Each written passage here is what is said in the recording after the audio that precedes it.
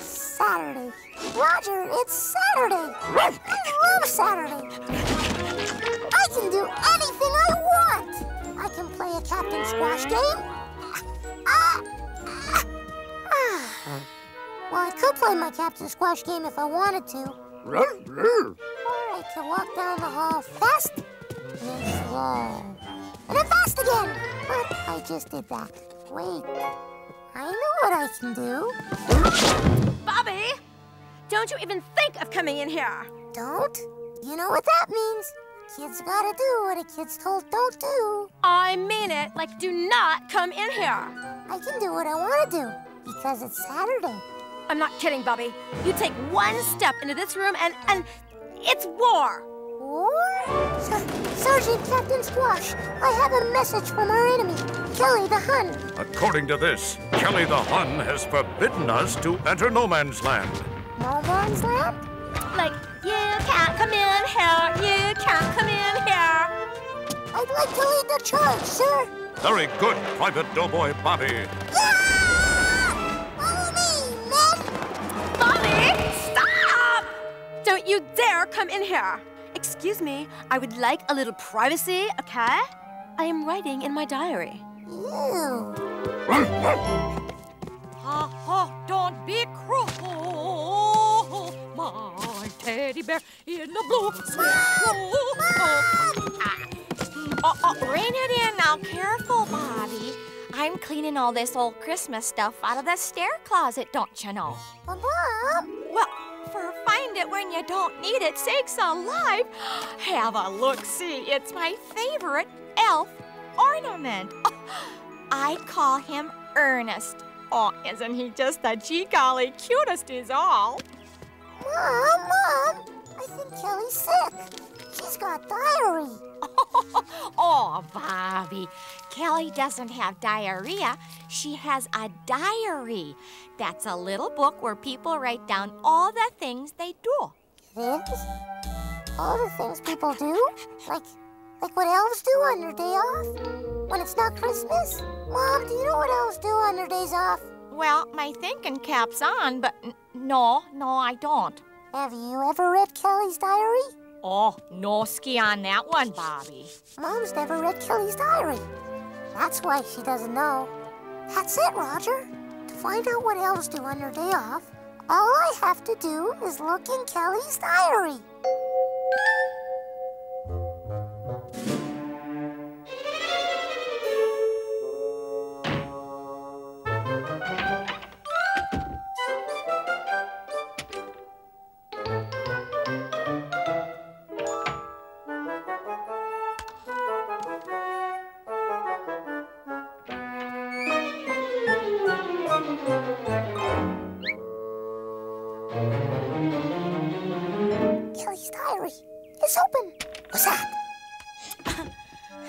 Duh, I almost forgot to lock my diary. There, safe from prying eyes.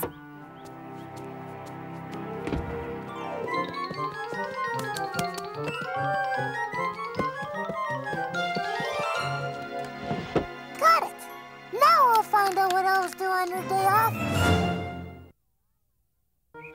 Now I've got the key to Kelly's diary.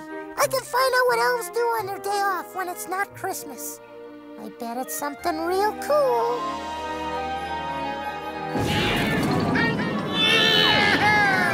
Blitzen, remember how you always ask me if you can be my best friend and I say no? Uh, Ernest? And you constantly badger me about why you don't have any friends? This is why. Oh, I see.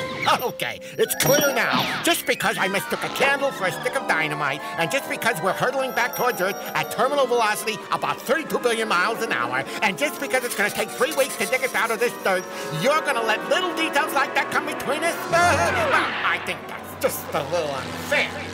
What, what, what do I know? I'm just a reindeer. Oh, I'm definitely a reindeer. I've done it. I've put an end to that do-gooder elf Ernest. Ha! Imagine anyone stupid enough to devote their life to spreading joy throughout the world. Well, what have we here? A young lady rushing to the bank to make a deposit before it closes. If she's late, they'll foreclose on her house. She'll be thrown in the street, along with her family and her little dog, too. Oh, too bad. She's about to encounter a faulty traffic light. Tisk, tisk.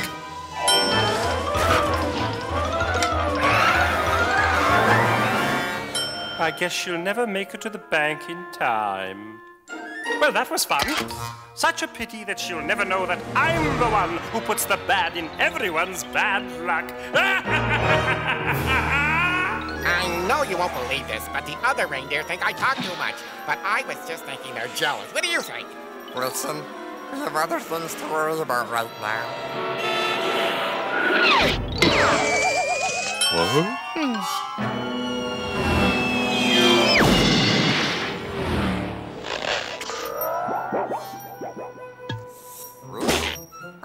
That was painful. One of the benefits of being an elf. One of the benefits of being an elf's best friend. I am your best friend, aren't I? Blitzen, Huh? Aren't I? Aren't I? Ah, I, I was talking too much again, right? Right. Boy, did that clear my sinuses! That ridiculous elf has spoiled me again. All right, this time I will use my evil ray to eliminate him and his anthropomorphic reindeer buddy for once and for all. Ray, come in here. I need you. Ray, get in here! What are you just standing there for? You didn't say Nihiliptus says. Yes, it would be fun to stay here and listen to Nihiliptus berate Evil Ray and hatch his next wicked plot. But it would be even more fun to find out what's going on with our intrepid heroes. As you remember from last week's episode, Ernest and Blitzen are on their way to keep an appointment with their employment counselor, who is waiting for them at their new job. Blitzen, look. There's a meter that still has time on it. Oh, boy, that's great. A parking meter with time on it. How often does that happen? Chances of that. It's our lucky day, Blitzen. I have a feeling that everything, including our new job, is going to go just perfectly. Why are Ernest and Blitzen looking for a job, you may ask? Boy, you ask a lot of questions. Well, elves only work one day a year. The rest of the time, they need to find other employment. Didn't I tell you, Blitzen? It's a perfect day.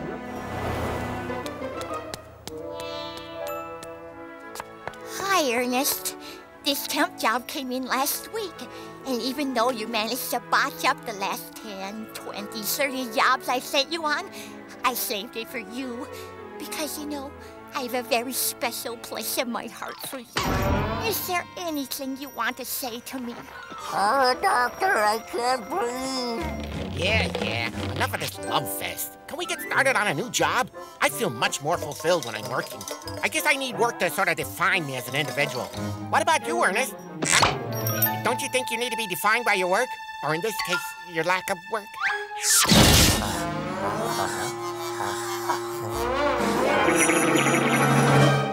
Why do they always come for my antlers? Couldn't I just yank on my tail once in a while? And now it's time for the lovely Bonnie, the employment lady, to show Ernest and Blitzen around their new place of employment. Do you mind? Oh, uh, sorry. Ernest, come inside. I want you to meet the owner of Lorraine's Hurry and Eat. Wow, a fast food restaurant. Sounds like my kind of job because, darn it, people really like me. I hate Ernest. I hate him because he is against everything I enjoy, like taking the bubbles out of bubblegum. I am a dope. I am a dope. Yes, the kids who buy this stuff can chew it till their little faces fall off, but they'll never be able to blow a bubble with it. It was because of that insufferable elf Ernest that I vowed to use all my genius. dope. What good? And it's spelled D-O-P-E. Oh, I was down with the gremlins taking freshness dates off of milk cartons yesterday, and they said you started as an elf. Shut up! I'd like two single, double, triple burgers and hold the legs!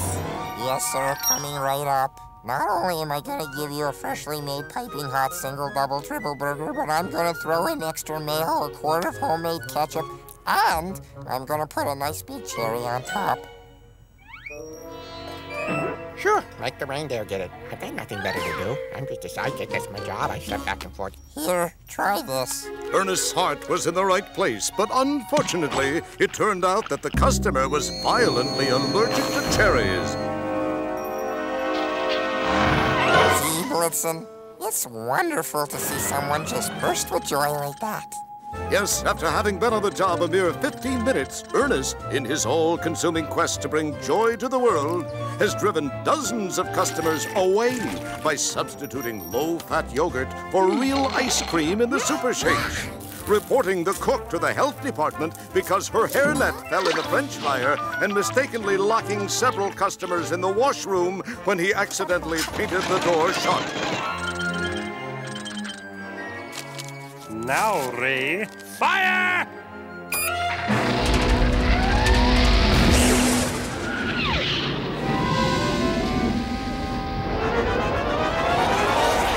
Boy, Blitzen, this is the best job ever. Don't you think so? Yeah, can you sing it like that, Ernest? I can't hear you, Blitzen. Oh, it must be because this piece of trash is in the way. Let me dispose of it in a proper receptacle.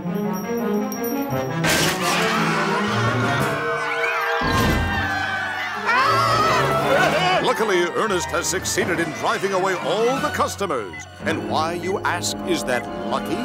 Well, boy, Ernest messed up big time. Yes, it looks like he's out of another job. Gone. History. Dead meat. Great. I can hear you just fine now. Ernest, Ernest, the owner loves you. Like I was saying, a genius, a boy wonder, wonder elf.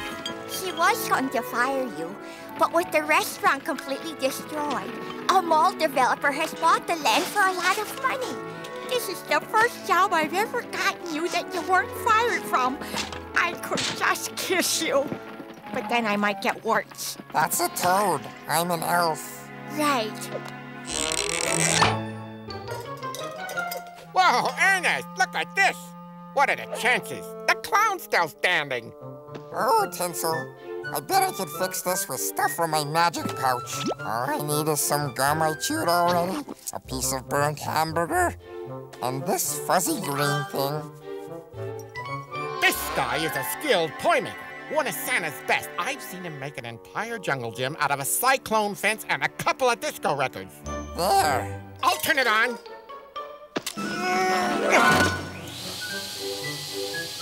Hello and welcome to.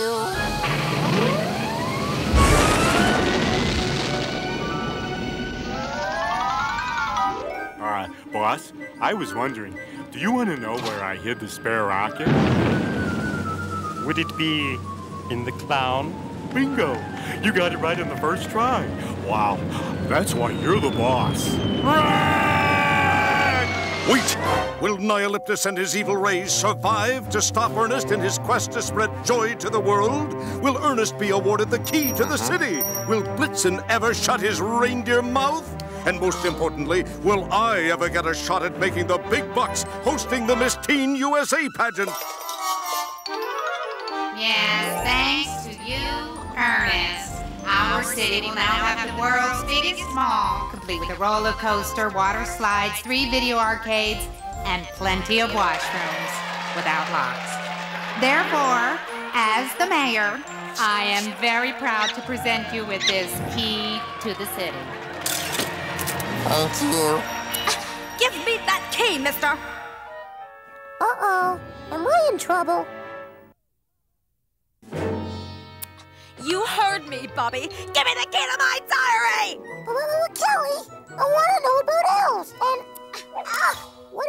Elves do on their day off? Ow! This is too easy, Dweeb. You're supposed to dodge the ball. That's why they call it dodgeball. Get with the program. Oh, uh, I, I was just thinking about how Kelly won't let me have her diary, and it has stuff in it that I need to know. Hey, Dweeb. You know what they say? Little knowledge is a dangerous thing. Then why do they send us to school? Heck if I know, but that's what they say. Sisters, they're always giving us brothers grief. Kelly won't give you her diary. Trade her something for it. That's what I'd do. Good idea. Thanks, Derek. Ow! You're supposed to dodge it. I'll give you a Captain Squash doll. Just a sec, Tiffany. Big news. My little brother's being a pest. No deal.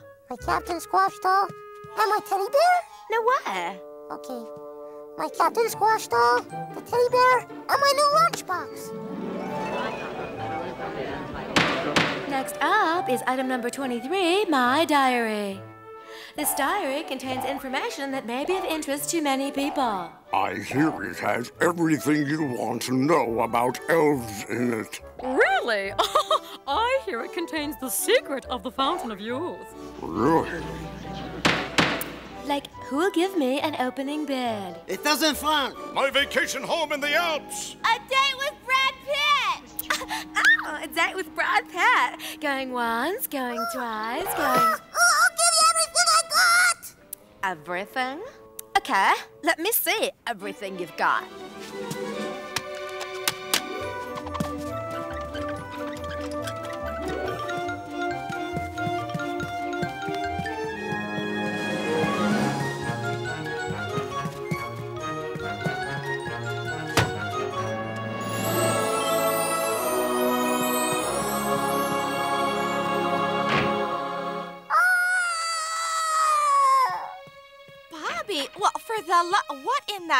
Golly world is wrong? I forgot. I don't know how to read. Oh, oh, here now, hon. That's okay. You'll learn how to read. Then you read it to me, Mom. Oh, Bobby, a diary contains stuff that Kelly wants to keep a secret, don't you know? She does? Why? Well, it's nothing that would hurt anyone else. Well, golly, everybody in the whole family has secrets. They do? I wonder what the other family secrets are.